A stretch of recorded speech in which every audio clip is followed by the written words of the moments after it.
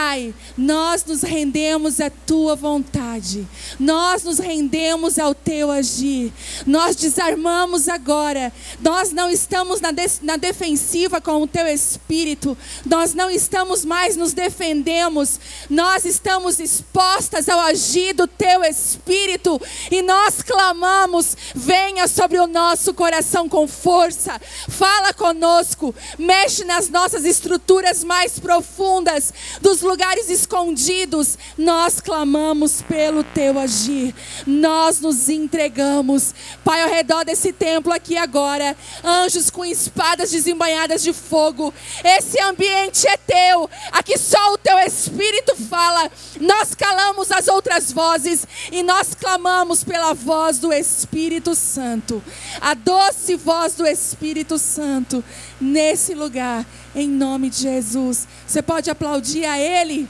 por isso. Glória a Deus. Quantas amigas eu sei que eu tenho aqui, que a gente já é íntima, a gente só não se abraçou ainda. Quantas? Eu tenho muita gente. Me chamaram no Instagram falando, pastora, quero dar um abraço. Depois vão se abraçar. Amém? Mas eu creio que eu cheguei e botei os pés no Rio de Janeiro com um propósito. Gente, quando eu cheguei nessa cidade hoje pela manhã, eu vi uma unção de Deus no Rio de Janeiro. E eu senti algo no meu espírito, como se Deus falasse: Filha, eu escolhi o Rio de Janeiro para mim. Tem coisas que Deus vai fazer nascer aqui no Rio.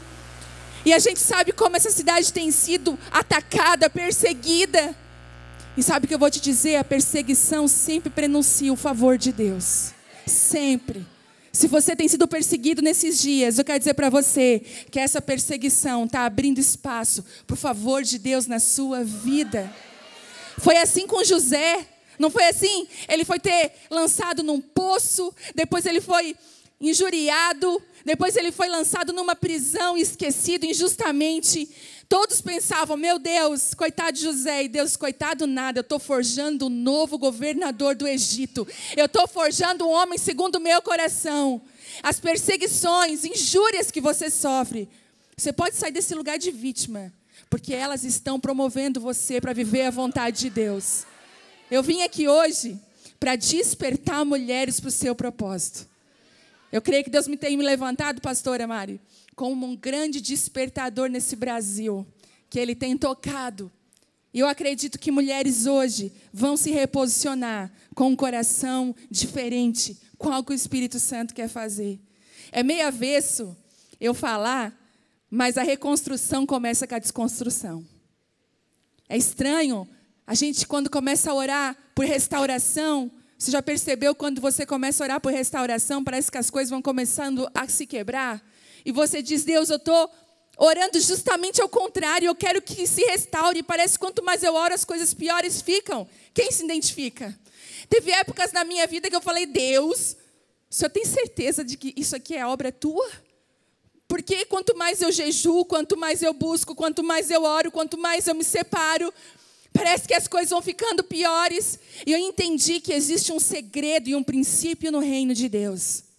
Quando Deus chamou Jeremias com o propósito de ser profeta para as nações.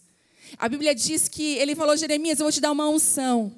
E todo mundo fica, glória, manda unção. E ele falou: É, mas a unção que eu vou te mandar, Jeremias, é primeiro para arrancar, destruir e derrubar. Aí depois ele continua, mas depois, Jeremias, a unção vai ser para construir, plantar e edificar. Você está buscando restauração? Se prepara para o quebra-quebra. Deixa eu te falar um segredo de Deus: Ele não reforma nada. Deus não é de reforma. Deus é um Deus que restaura. Sabe por quê? Se essa mesa, vamos dizer que daqui a 100 anos, essa mesa, esse, esse púlpito se transforme num objeto de, de decoração antigo. Nossa, 100 anos, né? A Igreja Batista Atitude, ela usava esse púlpito Ok. Só que ele, daqui a 100 anos ele não vai estar como ele está agora. Entendem? Ele vai estar todo enferrujado, ele vai estar completamente riscado. E vai chegar a hora que uma pessoa vai dizer: vamos restaurar. Quando a gente restaura, a gente busca como que era o original. Eles vão lá nas fotos da Igreja Batista Atitude, eles vão lá naquela conferência equilibrista. Vamos ver como é que era. E eles vão olhar nas fotos, eles vão reconstruir conforme o original. Quando a gente reforma, a gente pinta do jeito que a gente quer. Vamos pintar de preto? Vamos pintar de amarelo? Isso é reforma, mas quando você restaura, você busca o original. Deus te restaura conforme o original que está lá no céu. Ele olha para você, como é que é o seu nome? Evelyn. Ele olha para Evelyn e diz assim: Evelyn, quando eu te chamei, quando eu te criei, filha, o que é estava escrito no céu para você? Porque é assim que ele vai te restaurar. Não é a partir dos sonhos da Evelyn, não é a partir do que ela está pedindo, não é a partir do que você acha, é a partir do que os céus têm sobre você. E sabe o que Deus está procurando nos últimos dias? Mulheres que se rendem à vontade dos céus, mulheres que abrem mão dos seus sonhos, que falam assim: Deus, eu não quero mais do meu jeito, mas eu quero viver a tua vontade. E ainda que o Senhor tenha que me quebrar inteira. Ai, ai, ai. Ainda que o Senhor tenha que destruir e arrancar algumas coisas, eu me submeto ao processo de Deus. Deixa eu falar uma coisa para você. Os homens e mulheres que estão florescendo nesses últimos anos, que estão carregando uma presença, uma autoridade, são homens e mulheres que não se recusaram a passar pelos processos de Deus na vida deles. Quando você foge do processo, você abandona o propósito. Porque para você cumprir o propósito de Deus, o processo vai vir sobre a sua vida. Sabe? Deus está procurando mulheres que aprenderam a ser independentes da ação do Espírito Santo. Muito se fala hoje sobre empoderamento feminino.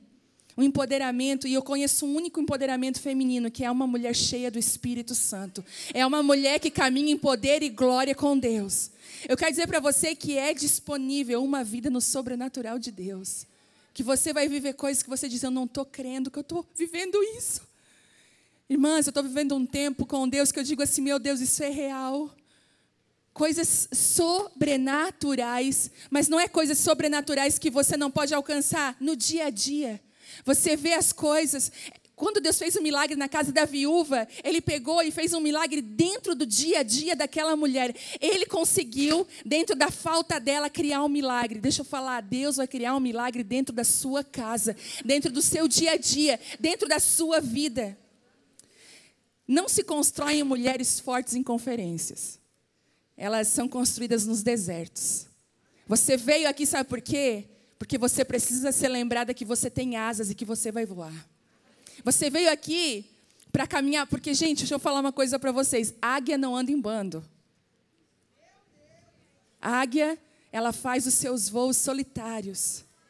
Mas às vezes é tão bom quando Deus permite que as águias se encontrem no ninho das águias. Posso chamar esse lugar hoje de ninho de águia?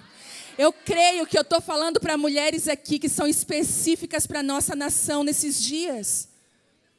E Deus, quando Ele nos reúne em conferências como essa, no Brasil inteiro, Deus está chamando as mulheres. Se você fosse cristão há 40 anos atrás, 50 anos atrás, a gente não ia ver tantas mulheres reunidas. As reuniões de oração eram de 20, 30 mulheres, mas de repente um chofar tocou do céu e Deus está chamando as mulheres para esse tempo. Sabe por quê? Nós carregamos um útero espiritual. Quando, quando Deus olhou para a terra e disse assim: Eu vou mandar Jesus, ele escolheu uma menina. Quando Deus olha para a terra e quer gerar algo, ele olha para as mulheres. Eu quero dizer que o seu útero não foi só para gerar o seu filho, mas se você tem um útero espiritual que vai gerar os sonhos de Deus, que vai gerar a sua casa, vai gerar o seu marido, os seus filhos, os sonhos de Deus para a sua vida. Ao longo das escrituras, a gente vê como Deus une as mulheres com propósito. Se você olhar a palavra, você vai ver de uma forma inexplicável conexões no espírito que destravaram propósitos. Você vai ver Noemi passando o pior momento da vida dela, mas ela encontra Ruth, que é uma mulher que não desiste dela. Noemi diz assim: Noemi significa doçura. Então ela fala assim: não me chame mais de doçura, porque eu estou completamente amarga. Me chame de Mara. E Ruth diz assim: Eu não vou desistir de você. E Noemi fala: Vá viver sua vida, por favor. E ela diz: Não, eu não desistirei de você. Sabe aquela amizade que não desiste de você no tempo mais difícil da sua vida? Será que ela está aí do teu lado, essa pessoa? Será que ela te convidou para vir para essa conferência, te chamou pela mão? Teve tanta coisa que você quis desistir na última hora de estar aqui. Mas Deus levantou uma Noemi do seu lado que diz assim: Olha, o teu Deus é o meu Deus, o teu povo é o meu povo, eu não vou desistir, nós vamos cumprir o propósito de Deus. Aleluia! Mulheres que não estão com a gente só porque tudo está bom. Amizades que não vêm conforme a maré, mas são homens e mulheres que sabem o que Deus gerou dentro de nós. Fora pode estar tudo destruído, mas Ruth via dentro de Noemi vida. Ruth via os propósitos de Deus dentro de Noemi.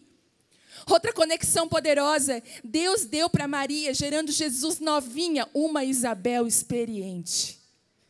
Uma mulher que estava mais na frente e falou: Maria, vem para minha casa, porque eu vou te ensinar. E sabe o que aconteceu? Quando as duas se encontram, os meninos começaram a virar no ventre. Sabe quando você conhece uma mulher que tem o mesmo propósito que você? Tudo que você tem começa a mexer no ventre. Você diz, eu conheci ela há pouco tempo, mas parece que ela está conectada comigo. Você já viu aquelas pessoas que você conheceu ontem, ela já é sua amiga de infância? Deus conecta de uma forma perfeita, há uma conexão. Deixa eu te dizer, essas mulheres carregam o mesmo propósito que você. Porque Isabel gerava João Batista, mas Maria gerava Jesus. Um estava preparando o caminho para o outro. Aquilo que você gera abençoa a outra. Por isso que Deus está quebrando. Deus está quebrando com rivalidade. Por isso que Deus está afirmando a nossa identidade. Porque nós não podemos matar o que a outra está gerando. Nós precisamos celebrar. Porque o que ela gera é o que eu preciso. O que está do seu lado te abençoa. Nós precisamos aprender a aprender. A dizer assim, eu preciso aprender. Parece que é tão difícil, né? Eu preciso aprender. E Deus está levantando Isabéis. Deixa eu te contar um segredo. Isabel gerava João Batista. Ela tinha mais experiência. Mas sabe de uma coisa? Maria é uma menina. Mas Isabel sabia que o que Maria gerava era muito maior do que ela gerava. E Deus escondeu Maria numa casa, que ela não ia ser morta, que ela não ia ser se acabar, mas que ela ia ser gerada e que Isabel ia ajudar ela a gerar o propósito de Deus. Deus está levantando mulheres que vão ajudar outras mulheres que vão gerar algo maior que você mesma. Deus está levantando mulheres com esse coração, com essa unção, com esse espírito. E Deus vai treinar o teu coração para isso. Em nome de Jesus. Por isso que para mim esses lugares aqui tão, são tão proféticos. Talvez aí do seu lado vai estar a sua amiga de propósito. Aquela amiga que te empurra para o propósito, aquela que te empurra para a vontade de Deus. E a palavra que eu vou falar hoje, que eu vou ministrar hoje, é uma palavra que marcou a minha vida. E eu acredito que nos últimos anos, no Brasil e no mundo, Deus está levantando ministros que rasgam o seu coração. Lá está escrito em Joel: não rasgue as suas vestes, rasgue o seu coração. Ele está falando assim, ó, para de rasgar aquilo que é superficial. Eu quero que você rasgue o que é profundo. Sabe por quê? Nas cicatrizes que eu venci, nas feridas que eu venci, a cura para curar talvez você que está passando por elas agora. É no rasgar do coração, nas vulnerabilidades que nós temos, que o Espírito Santo se move e cura. A Bíblia diz assim: na mesma unção que você foi curado, com a mesma consolação que você foi consolado, é que você vai consolar. Você teve o casamento abalado, você quase separou, Deus veio e restaurou, se prepare para chegar casamentos quebrados ao redor de você. Você tem unção para curar? Você está passando por um processo de restauração na sua vida em qualquer área, se prepare. O Espírito Santo vai levar você para esse lugar. E esse tema equilibrista fala tanto ao meu coração. Porque o equilíbrio tem o poder de não deixar que nós percamos aquilo que Deus confiou na nossa vida. Você já viu uma mesa? Vamos imaginar aqui uma mesa com quatro pés. O que acontece se um pé dessa mesa quebra? Ela fica torta. E se eu colocar o meu smartphone em cima dessa mesa, o que, que vai acontecer com ele? Ele vai cair. Se eu colocar um prato de comida maravilhoso, o que, que vai acontecer? Ele vai cair, porque não tem sustentação. Por isso que Deus está trazendo um equilíbrio, um fundamento, sabe por quê? Porque só uma mulher equilibrada e fundamentada em Deus vai conseguir sustentar as bênçãos de Deus na vida dela. Às vezes você está em crise porque Deus até derrama. Deus até derrama sobre você, mas não sustenta. Já percebeu isso? Você vem numa conferência como essa e você diz, Amém, eu quero Deus, mas na segunda-feira parece que tudo cai, porque hoje Deus vai mexer nas suas raízes mais profundas. Hoje Deus vai curar os fundamentos. A gente ama falar do que está por fora, Deus é aquele que ama de tratar o que está dentro. A gente via tantas pessoas nos últimos anos, vocês lembram? Que a, a igreja caiu naquele cai-cai, todo mundo caía no poder, caía no poder, caía no poder. O meu pastor que fala hoje, você não cai mais por fora, Deus está derrubando as pessoas por dentro. Deus está te derrubando por dentro, fazendo você cair em conceitos e te levantando por fora com um propósito, com a glória dele. E você percebe então que o que te sustenta não pode ser visto pelas pessoas. É engraçado que quando você olha para uma árvore, para uma árvore se manter de pé, ela precisa de um sistema de raízes, certo? Que a gente não vê.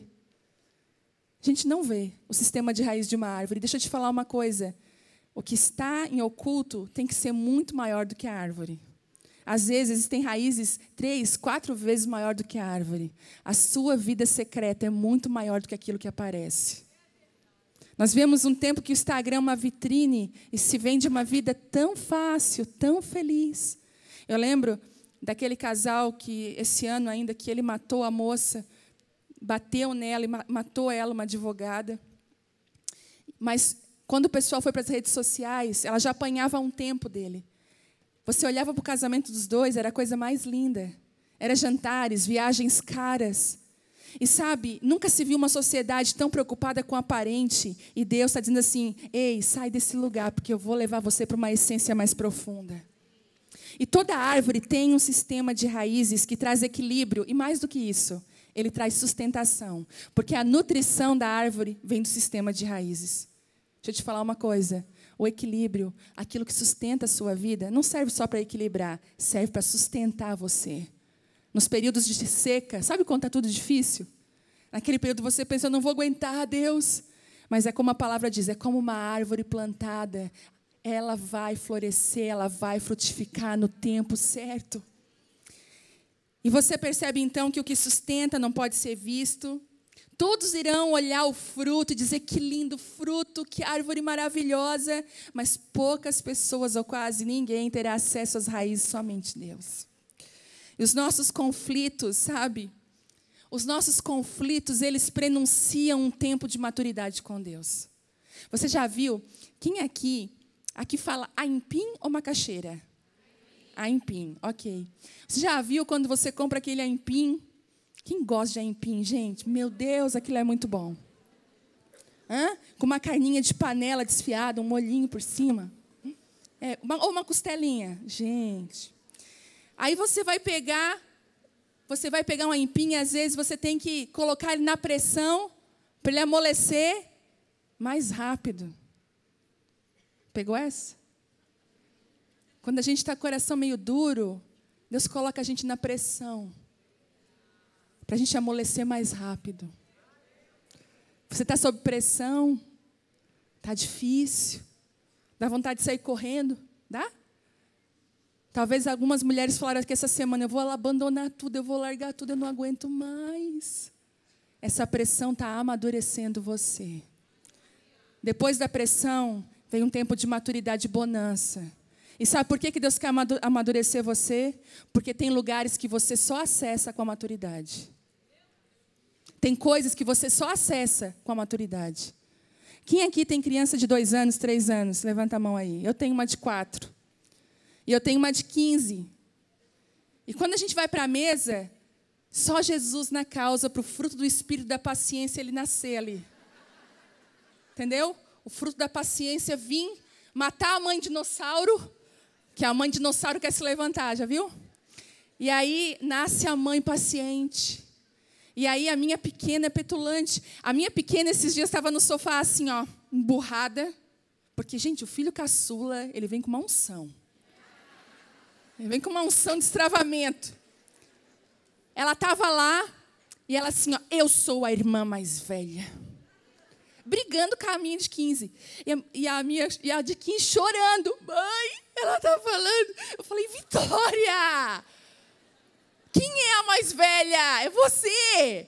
E ela lá, retrucando. E eu falei, não, você é a irmã mais nova. Nossa, ela estava no desespero. Às vezes a gente é meio assim com Jesus, né? Ele é o irmão mais velho. A gente quer botar rédea no negócio, entrar no lugar que não é nosso. Aí Deus vai lá e coloca a gente no lugar da gente. E aí a gente vai para a mesa comer e a Bela quer pegar a faca. E quer, entendeu? E eu falo assim: essa faca aqui é da sua irmã. A, a Vitória corta, falo, Vitória, corta o pão da, da Bela. E a Bela entra em colapso.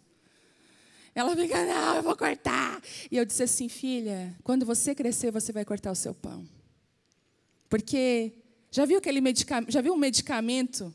Todo medicamento, até bati foto esses dias, não postei, mas vou fazer uma postagem sobre isso. Todo medicamento assim, ó, mantenha fora do alcance das crianças. Porque o remédio que pode curar com uma pessoa que não tem maturidade pode matar. Às vezes Deus não derrama algumas coisas sobre você porque falta maturidade para receber. E Deus está botando você em pressões para você amadurecer rápido, para você ter acesso àquilo que Deus tem para a sua vida.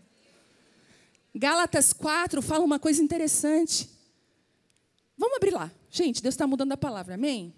Vamos permitir que o Espírito Santo tome todo lugar aqui? Gálatas 4, abre aí para mim. Se você está com a sua holy aí. Holy Bible. Vamos lá, Gálatas Ô oh, Jesus, quero achar aqui.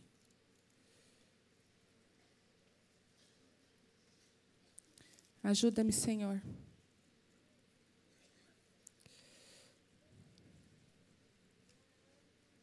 Aqui, Gálatas 4.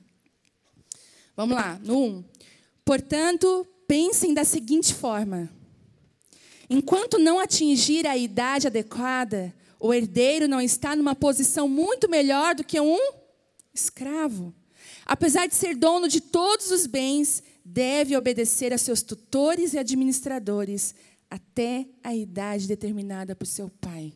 Ele está falando assim: uma criança que é herdeira, que é filha, ela não difere nada de um escravo. Ela não tem acesso a algumas coisas porque ela não tem maturidade para acessar. Então o pai espera aquele filho amadurecer para derramar coisas sobre ele. Às vezes você pede coisas, eu peço coisas para Deus e Deus olha assim para a gente e fala assim: meu Deus, se eu derramar, eu vou matar ela. Às vezes eu olho para a Bela e digo: se eu der essa faca para a Bela, eu vou, ela vai se machucar com aquilo que ia ser bênção. Você está entendendo isso? Então eu espero ela crescer e amadurecer para ela ter acesso àquilo que Deus quer. Então nós vamos falar sobre isso, sobre esse lugar de acesso. Muitas menções bíblicas Muitas. Lá em João 15, você vai ver Deus nos comparando com uma árvore. Interessante que as comparações de Deus é com uma árvore frutífera, principalmente a mulher, porque a mulher ela é de geração em geração. Atrás de você vem uma multidão. Eu tenho uma avó de 88 anos, plena, trabalha, tem uma loja. Gente, impressionante que a minha avó ainda faz com 88 anos. E às vezes ela está lá sentada no sofá, aquela família enorme ao redor dela. E outro dia eu estava olhando para ela, eu falei: uma mulher e uma, um legado. Você atrás de você tem um legado. Deus, quando ministra com você, ele não ministra só com você, ele ministra com a sua geração. Você sabia que você pode estar quebrando maldições da sua família, você sendo uma ponte de quebra de maldições e conectando a sua família, as suas gerações ao propósito de Deus? Às vezes você enfrentou guerras que os seus filhos não precisarão enfrentar, não. Eu lembro que eu tinha guerras de rejeição na minha vida, tive um pai alcoólatra. Guerras de rejeição, de vergonha, de medo. E outro dia eu estava orando lá em casa, e Deus falou assim para mim: Tu é uma ponte para os meus planos para a próxima geração. As tuas filhas não guerrearão com esses mesmos inimigos. Quando você vence o inimigo, seus filhos se livram desse inimigo. E aí você vai ver Deus falando da sua videira, vocês são os ramos. Se alguém permanecer em mim, eu nele se dá muito fruto. E na minha caminhada com Deus, eu sempre, as pessoas falavam assim, é, nossa, como aquela pessoa, ela dá fruto. Olha a célula dela, que tantas pessoas que tem na célula dela. Quem já ouviu isso? Nossa, aquela pessoa, que fruto! Olha como ela ministra bem, que palavra. Nossa, olha que fruto tem aquela moça que cantou. Meu Deus, que unção, que fruto! Olha como ela frutifica. E aí, às vezes, a gente olhar para as nossas vidas, a gente se sentia tão sem frutos. Nossa, como eu estou sem frutos. Mas sabe o que eu descobri? Que fruto não é aquilo que eu faço. Eu descobri isso. Que fruto é aquilo que eu sou. A Bíblia fala em Apocalipse que a árvore da vida, as folhas dessa árvore são remédio. Ministério, dons, talentos é remédio. Hoje eu estou aqui como um grande chá. Você já viu que os chás, remédios, são feitos de folhas e não de flores? Raramente você vai ver um chá de um fruto. Geralmente a medicina, geralmente, aquilo que cura está depositado aonde, gente? Nas folhas. O que eu faço hoje aqui é remédio, mas não é fruto. Fruto é quem eu sou lá na minha casa, que vocês não sabem como eu sou na minha casa. Eu posso aqui ser uma bênção, falar aleluia, falar em línguas, dar pulo, cantar, e lá em casa ser uma treva. Não cuidar do meu marido, não cuidar das minhas filhas, falar mal dos outros tem uma vida e um caráter totalmente distorcido. Mas eu tenho dom. Mas sabe de uma coisa? Deus, quando Ele olha para a gente, Ele procura não folhas, Ele procura frutos. Porque o que é fruto? Está lá em Gálatas. O que é fruto?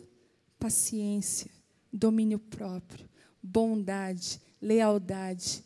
Contra essas coisas não há lei. É esse o fruto que Jesus vem buscar na nossa vida. E eu te pergunto, o fruto da paciência, como é que está aí? Olha, olha o. Todo mundo rindo de nervosa.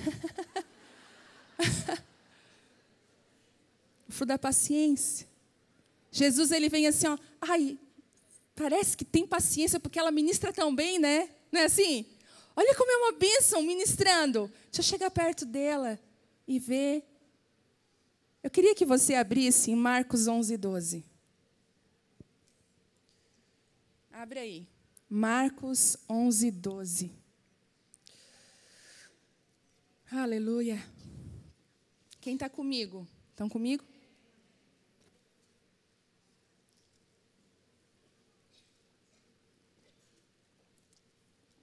Marcos 11, 12 diz assim: na manhã seguinte, quando saíam de Betânia, Jesus teve fome e viu que a certa distância havia uma figueira cheia de folhas e foi ver se encontrava figos. No entanto, só havia folhas, pois ainda não era o tempo de dar frutos. Então Jesus disse à árvore: Nunca mais comam do seu fruto. E os discípulos ouviram o que ele disse.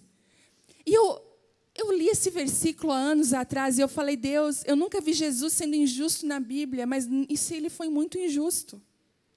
Porque ele chegou para uma árvore que não era tempo de dar figos, e ela não tem figos porque não é tempo de ela dar figos, e ele vai e amaldiçoa aquela árvore. Eu falei, que injusto. É a mesma coisa que eu chegar lá no sul, no mês de janeiro, e, e, e querer laranja. E eu vou chegar perto e vou dizer, eu quero uma laranja. Não, mas não é tempo. Então amaldiçoa essa ave. Eu falei, que síndrome do renzinho é essa? Mas eu fui, eu ouvi uma ministração do meu pastor e eu fui caçar na Bíblia. E eu quero compartilhar essa revelação com vocês hoje. As figueiras lá na época de Jesus, quando elas não estavam na época de dar frutos, quando elas não davam frutos, elas não tinham nem folhas, elas ficavam completamente seca. Quem já viu que pé de pessegueiro, de pêssego? No inverno parece que ele vai morrer. Que ele já morreu, na verdade. No inverno só falta cortar e jogar no fogo. Mas se você a sua unha no pé, você vai dar uma raspadinha, está verdinho, porque a vida está funcionando dentro dele. Não importa se ele está numa estação que está feio para ele, a vida está dentro dele. Jesus olhou para aquela árvore e disse assim: folhas prenunciam frutos. Porque quando a árvore tinha folhas, é porque ela tinha frutos. Aquela árvore estava usando as suas folhas para esconder aquilo que ela não tinha. Pegou? Quando nós usamos o que fazemos para esconder aquilo que não temos. E Jesus não estava procurando folhas, ele não procura ministério. Jesus ele não procura a ministra, o ministro, ele procura a filha. Ele quer o coração da filha. Por isso que Jesus, ele perde o ministro, mas não perde o filho. Ele não está interessado no que nós fazemos, porque tudo que nós fazemos é debaixo da misericórdia e da graça dele. Mas ela, ele está interessado em quem nós somos aqui dentro. E é ele que vem buscar os frutos. A unção ele te dá, mas o, que, o seu caráter é o seu fruto, o seu presente que você dá para ele. Falar em línguas é folha. Maravilhoso falar em línguas no culto. Agora, segurar a língua na segunda-feira é fruto. Pode aplaudir ele.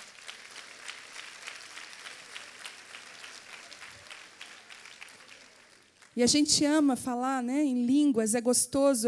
Igual meu pastor fala, se eu não, não cair debaixo do Espírito Santo, eu me jogo no chão. Vem que eu estou facinho. Sou assim com Deus. Vem, Senhor, que eu estou facinho. Mas é na segunda-feira, é no nosso dia a dia, que a gente vai responder à unção que Ele deu para nós. É na segunda-feira que nós vamos ver se a nossa mesa está equilibrada ou não está. E hoje Deus quer tratar com as nossas raízes mais profundas. Sabe, conversando com tantas pessoas ao lado do chamado que Deus me deu para ouvir, pessoas que ministram, pastoras, mulheres, diante de tanto que eu tenho escutado, eu tenho visto alguns ciclos de reprovação na vida de algumas pessoas e alguns sintomas tipo assim, não vai, vai até um pedaço, dali a pouco tudo volta como era antes. Eu vivo ciclos, parece que eu vou até um ponto, aí chega ali na hora, volta tudo de novo, eu não consigo vencer algumas coisas. E Deus me deu uma palavra sobre isso. Quando Deus me chamou, rasgar um pouco aqui o coração. Quando Deus me chamou, eu era extremamente tímida. Eu já cheguei a desmaiar na sala de aula para apresentar trabalho. Aí você imagina. Eu já. Aí eu estou aqui falando, ó, sem tremer, ok? Eu estava ali, eu falei, Deus, eu não estou nervosa. Porque eu ficava extremamente nervosa quando eu ia falar em público. E quando Deus me chamou, eu falei, Deus, o senhor está doido? Vai chamar eu? Eu morro de medo e tal. E Deus falou assim: é, mas eu chamei Gideão, aquele que estava escondido, malhando o trigo no lagar, e chamei de poderoso guerreiro. Por isso que você não tem que olhar a sua história familiar, o seu DNA. Você tem que pensar no que o céu está falando a seu respeito. Nos últimos dias você precisa perguntar, pai, o que é as palavras do céu ao meu respeito? É sobre elas que eu tenho que andar. E aí eu comecei a pastorear junto com meu marido, funcionar. E eu comecei a me encorajar a funcionar. Trabalhei, fiz um trabalho voluntário, sete anos num presídio na ala feminina. Toda sexta-feira eu estava lá na ala feminina ministrando com presidiárias. Hoje, algumas delas congregam com a gente lá. E batizando em piscina de criança, vivendo. Eu, eu digo assim: ó, é maravilhoso estar aqui, mas vocês não imaginam o que é estar dentro de um presídio buscando a presença de Deus. Ele está lá. Quando eu chegava no, quando eu chegava lá no pátio para ministrar com elas, a presença de Deus era tão forte que eu não conseguia ficar sentada, eu ia para o chão do pátio. Depois, Deus me chamou para as prostitutas. Trabalhei anos com prostitutas, resgatando prostitutas, cuidando dos filhos da prostituição, dos órfãos, ministrando paternidade. E eu dizia assim: Deus, olha tanto fruto! A minha árvore é muito linda. Eu tinha até um orgulho. Sexta-feira você estava onde? No presídio. Lugar que ninguém quer ir. Que é fácil gostar desse lugar aqui, ó.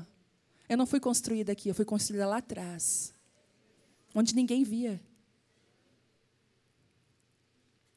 E aí, eu fui para uma escola de missões. Eu com as minhas asas. Sabe quando você acha que você tem até asa? Eu entrei naquela escola com as minhas asas assim, ó.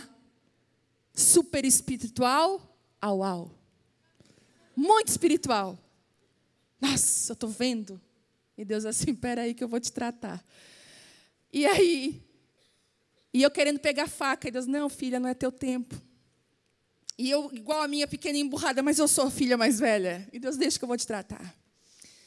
E aí, eu me, eu me pensava assim, meu Deus, isso tem muito fruto. Olha. E um dia, eu estava jogada nesse chão, nessa escola, chorando muito, entregando a minha vida. E eu vou te dar um segredo: entregue a sua vida todo dia. Porque todo dia o orgulho quer nos roubar, a mentira, o engano. E eu estava lá me entregando mais uma vez, falando, Deus, a minha vida é tua. E sabe, Ele responde às nossas orações. Talvez a sua vida está um caos, porque Deus está respondendo a sua oração. Ele está no quebra-quebra. E eu estava lá jogada no chão e Deus falou assim para mim, filha, eu dei uma volta ao redor da tua figueira. Eu falei, que papo é esse? E eu não vi frutos. Eu vi só folhas. Mas eu não sabia dessa palavra. Isso foi em 97. Não, 2007. Não entendia nada. E eu fui para Lucas, que fala uma história de uma figueira que estava plantado dentro de uma videira. E que aquele dono da videira tinha ido ali há três anos e não encontrava frutos naquela figueira. E ele falou assim para o jardineiro: corta ela, ela não dá fruto. E o jardineiro falou assim: não, não, não vamos cortar. Vamos deixar ela por mais um ano. Depois, se você quiser ler, é Lucas 13, 6. Vamos deixar ela por mais um ano. Eu vou adubar, eu vou cavar ao redor dela. E ela vai, ela vai conseguir. E quando eu li essa palavra, eu falei: Isso não se aplica a mim de forma nenhuma. Olha quantos frutos eu tenho. Deus falou: Isso não é fruto. Olha como é que está a gaveta da tua casa. Eu lembrei daquela minha gaveta lá da cozinha.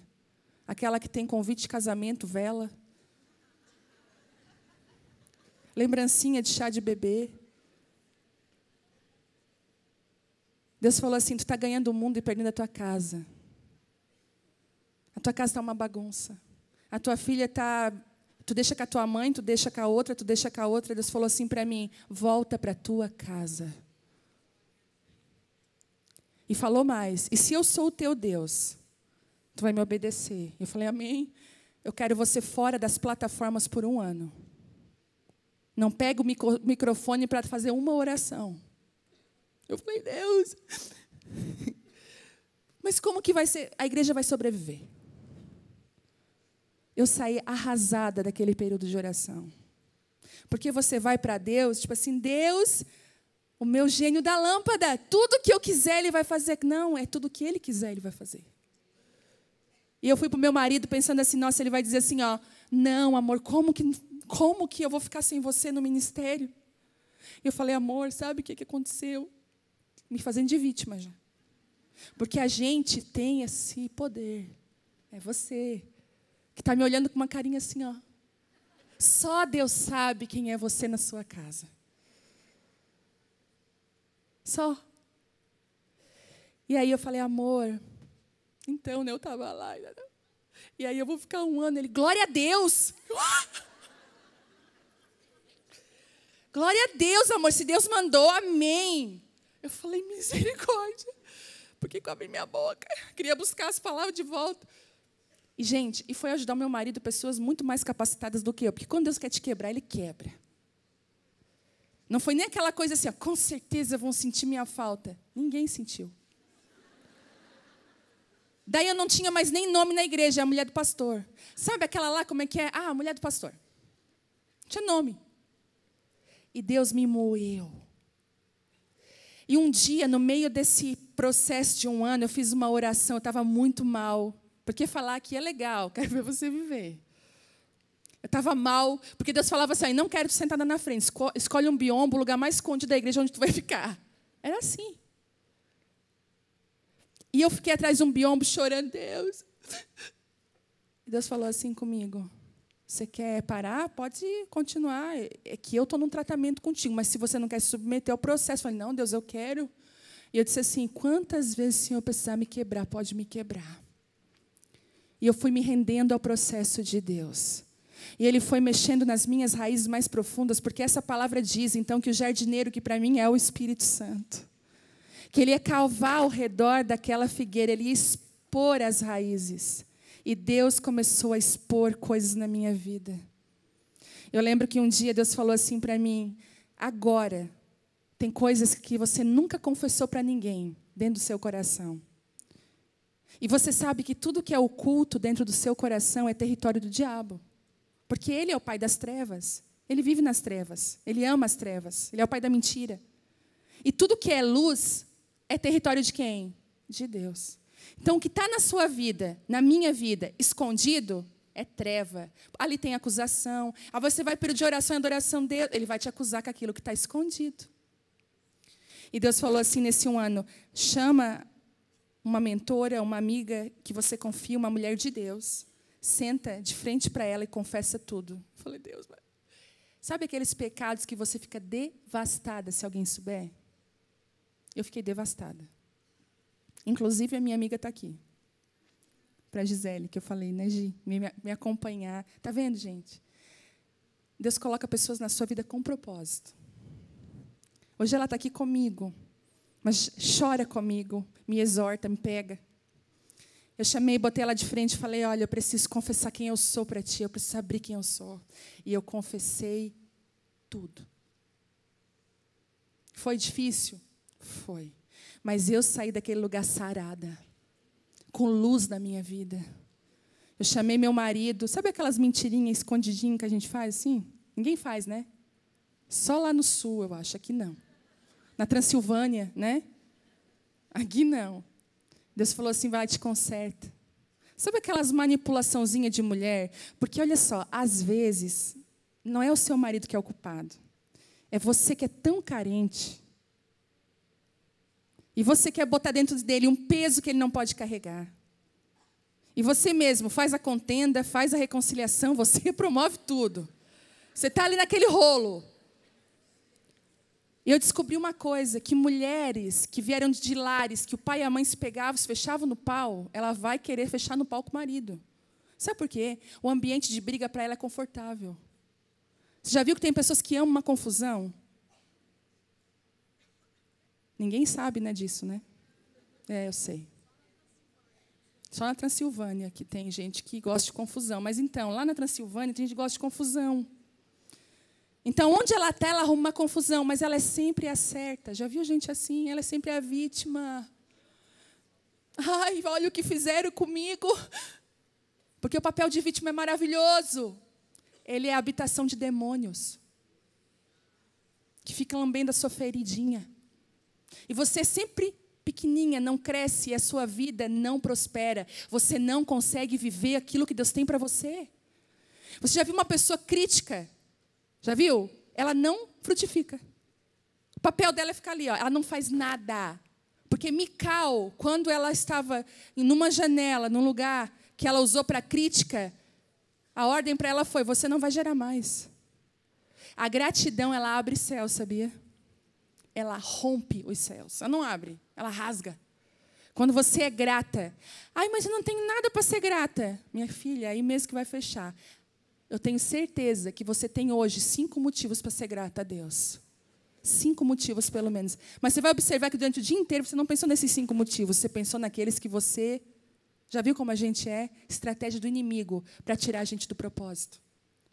E eu comecei a descobrir que Deus ele quer trabalhar no nosso coração para que nós começamos a viver aquilo que Deus tem. Vocês lembram da palavra do odre? Que o vinho novo ia descer em odres novos.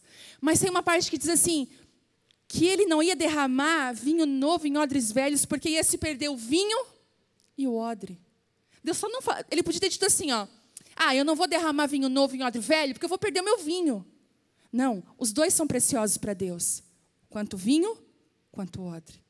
Mas ele disse: Mas se derrama vinho novo em odres novos.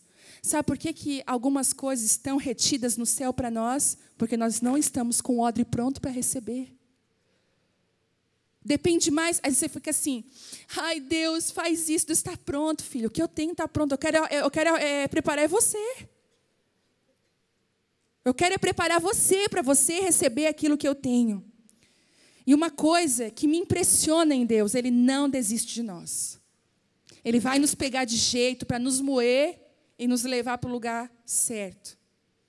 Depois daquele um ano que eu fiquei sem ministrar, Deus tratou comigo aquilo que eu nem sabia que eu tinha. Você já viu quando você vai no médico e ele descobre coisas que você nem sabia? Deus me curou.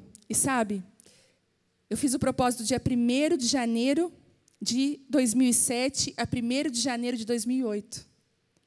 Quando chegou dia 3 de janeiro de 2008, eu estava lá naquela escola de novo que eu fiz a entrega.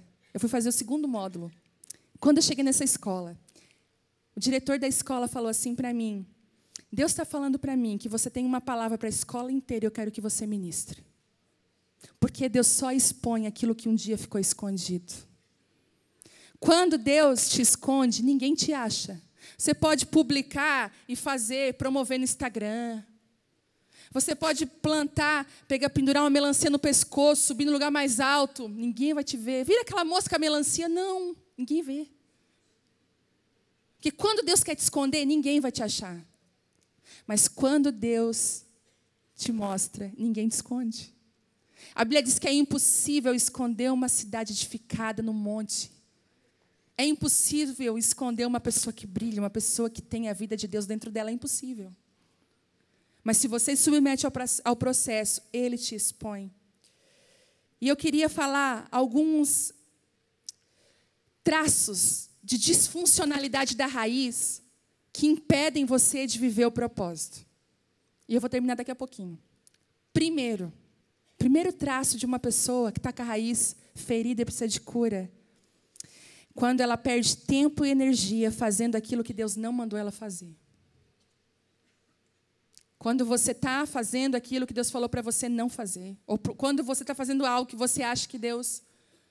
Sabe qual o problema de nós não termos intimidade? Que a gente não ouve a Deus. E a gente faz o que a gente acha. A Bíblia diz que Jesus falava assim: ó, Eu faço o que vejo o meu Pai fazer. Você já viu? Eu não sei se aqui, acho que também só na Transilvânia que tem gente que comprou artesanato. Não, agora eu vou. E está tudo lá guardado, jogado num canto? Não tem aqui, né? faculdade por terminar, curso. Não, agora eu vou fazer esse curso. Aí você comprou tudo para o curso. Você fez o, fez o curso e fez o negócio três meses. Depois você abusou do negócio, quis mais. Não, aqui não tem gente assim. Eu, esses dias a menina que trabalha lá em casa falou assim: ó, que tanto de linha é esse aqui? Eu falei: misericórdia, me acharam. Porque uma coisa que eu amo fazer é crochê. Quem aqui é crocheteira? Gente, você sabe do vício, que é o crochê. Eu fui liberta. Porque eu falei assim, Deus, eu entrego, né, ou eu pego o microfone ou eu pego as agulhas. Eu pensei até esses dias estar no aeroporto fazendo crochê, mas ia ser uma gafe. Eu... Mas lá em casa tem tapete que eu fiz. E o meu marido fala assim, meu Deus, tu fazendo crochê não combina contigo? Mas eu amo. Mas quantas vezes eu falei, agora eu vou fazer. Já viu como é que o Chaves falava? Zaz, porque vou fazer um tapete tal, está lá o tapete pela metade. Porque eu estava gastando energia naquilo que não era para mim. Eu lembro que quando eu estava no presídio, na ala feminina, eu olhava assim para assistente social. Tem assistente social aqui? Tem alguém? Glória a Deus pela sua vida. Você é um instrumento de Deus onde você está. E eu, fi, e eu falei, nossa, assistente social tem uma abertura, vou fazer assistente social. Lá fui eu para a faculdade, fiz metade de assistente social. Uma coisa não ia, a coisa não ia, parei o curso na metade. E eu comecei assim, Deus, mas parece que tudo que eu começo eu não termino. E eu comecei a orar e Deus falou assim: Isso é porque eu preciso curar as tuas raízes. Você não está no lugar que eu chamei você para estar. Você já viu? Quem pode dar um glória a Deus bem alto pelo homem? Peraí, calma, segura aí que você vai dar bem alto. Pelo homem que inventou a máquina de lavar roupa. Não, glória a Deus. Onde nós estaríamos se ele não tivesse criado a máquina de lavar roupa? Nossa, gerou até um avivamento. Olha o avivamento. Que meu Deus, meu Deus, a máquina de lavar roupa foi algo assim maravilhoso. Não é assim? Você já viu propaganda de máquina de lavar roupa? A mulher de salto, bota as roupas dentro da máquina. Como é que é na vida real? Hã? O coque no cabelo, aquele pijama encardido, aquela sandália trocada. Só Deus sabe. Nem vou falar das roupas íntimas, né? Vamos deixar. E a máquina de lavar roupa, ela foi criada para lavar roupa. Mas se você pega panela, você coloca dentro da máquina de lavar ali direitinho. Você bota um pouquinho de detergente, o que, que vai acontecer? Ela vai até lavar, mas vai ser uma barulheira. Vai danificar a máquina, danifica as panelas. Tem coisa que você funciona, que até vai, mas você estraga mais do que abençoa. Já viu aquelas mulheres que quer ser mãe da mãe, a mãe do pai, a mãe dos irmãos, quer mandar na família inteira, pega o peso da família inteira e anda assim, não cuida nem da sua casa, quer cuidar da casa dos outros. Deus te deu a tua casa para você cuidar. Você pode, às vezes, sabe fazer o quê? Interceder, orar, mas não se meta na coisa que não é para você. Você vai gastar energia, tempo, vai machucar o seu casamento, a sua vida, em coisas que Deus não, não chamou você para fazer. Hoje, um desafio, Deus, me redireciona. Liga o GPS aí, ó, recalculando.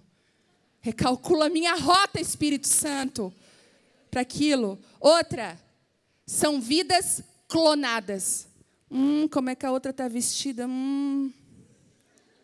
Print. Não, isso é só na Transilvânia, eu tenho certeza que aqui não. Print dos looks. Printar. Não, né? Print e tá. Nossa, fulana está fazendo isso. Poxa, recebi uma direção de Deus para fazer. Vidas clonadas. Vou te falar uma coisa: a cópia não tem autoridade. Você precisa pegar a cópia, ainda ir lá no cartório para autenticar, mas ainda ela não tem o poder da original. Quando você quer ser o outro, você perde de ser aquilo que Deus chamou você para ser.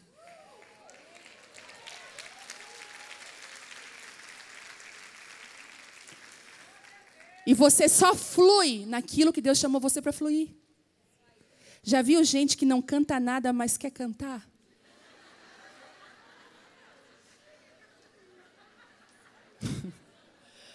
ah, eu sei que aqui não tem, só na Transilvânia. Meu Deus, sofre quem canta porque a pessoa, coitada, ela não tem unção, ela, ela não tem nem autoridade para estar ali e sofre quem está escutando. Outro dia lá na igreja, eu assim, nós estávamos precisando de alguém para cantar e eu caí na bobeira de falar assim de púlpito. Irmãs, a gente está precisando de botar mais back em vocal.